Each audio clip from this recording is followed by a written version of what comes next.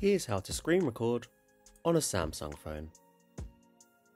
Firstly, swipe down from the top and then swipe down again to get to your full notifications panel.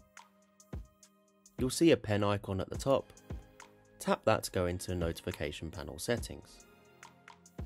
Once you're there, tap the edit icon under the full tab on the right side. Where it says available buttons, scroll sideways until you see screen recorder. Once you've got that, touch and hold and then drag the button into your notification tray. Once finished, tap done and swipe up to go back to the home screen. Repeat the swipe from the top and another swipe again to get to the full notifications panel. You'll now see screen recorder.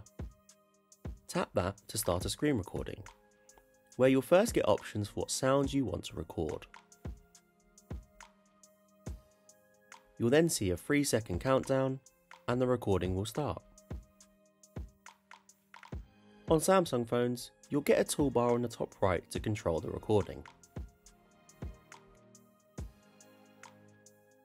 Once you're finished, tap the stop button on the top right of the screen. Once finished, swipe down on the home screen and you'll see a notification for the recording.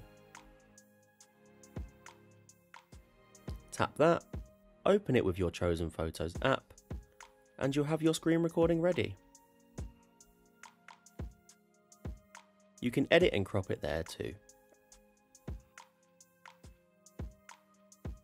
Swipe up to go to the home screen, and that's it. Subscribe or follow Mozillion for more mobile phone help and tips.